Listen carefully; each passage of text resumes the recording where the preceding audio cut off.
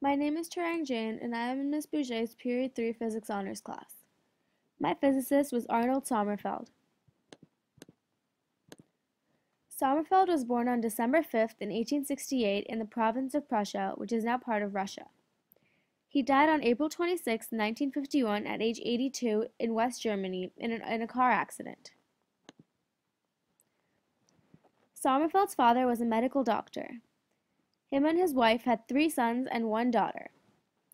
Sommerfeld studied mathematics and physical sciences at the Albertina University as a teenager, and he received his PhD in 1891.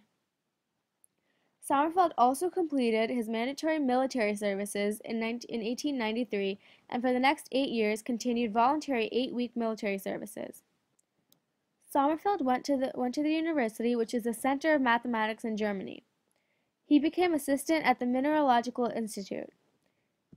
In 1894, Sommerfeld became, became Klein's assistant, which included taking comprehensive notes during his lectures.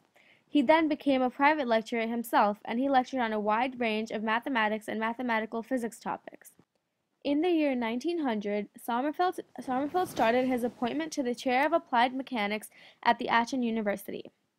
He there developed the theory of hydrodynamics, which, would, which, which, which retained his interest for a long time in his life. From 1906, Sommerfeld established himself as professor of physics and director of the new Theoretical Physics Institute at the University of Munich. He was selected for these positions by the director, which was looked upon by Sommerfeld as being called to a privileged sphere of action. Over his 32 years of teaching at Munich, Sommerfeld taught general and specialized courses as well as holding seminars. The general courses were on mechanics of, of deformable bodies, electrodynamics, optics, thermodynamics, statistical mechanics, and partial, partial differential equations. Sommerfeld was very dedicated to his teaching. Um, he held classes throughout the entire year, including summer and winter. Sommerfeld's atomic model per permitted the, the explanation of fine structure spectral lines. His investigations of atomic spectra led him to suggest that in the Bohr model of the atom, the electrons move in an elliptical orbit as well as circular ones. From this idea, he postulated the, the, the quantum number. He did detailed work on wave mechanics as well, and his theory of electrons and metals proved valuable in the study of thermoelectricity and metallic conduction. Some fun things about Sommerfeld that most people don't know are that Sommerfeld was a great admirer and supporter of Indian physics, and he visited India for a while in the second half of 1928.